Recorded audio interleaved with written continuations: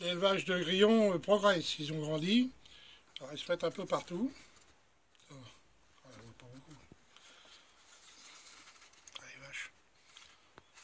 Ça va sauter, ils sautent bien. Hein. Attends, tu vois, il y en a plein là. Regarde. Regarde. Ils ont grossi, hein, ça marche pas mal. Voilà, ça se barre.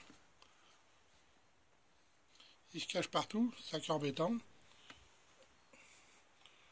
Alors je vais acheter la nourriture pour grillon. Et je leur mets des petites feuilles, je, hache tout pour que ça soit simple. Et puis une tomate avec un peu d'eau. Comme ça, ils se désaltèrent aussi. On les voit pas beaucoup, ces vaches-là.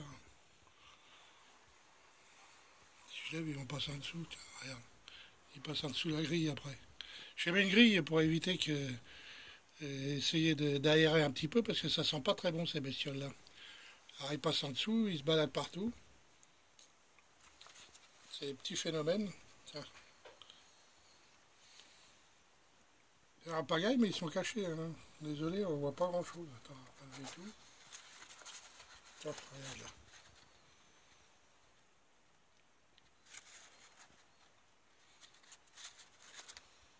Ah, ils sautent.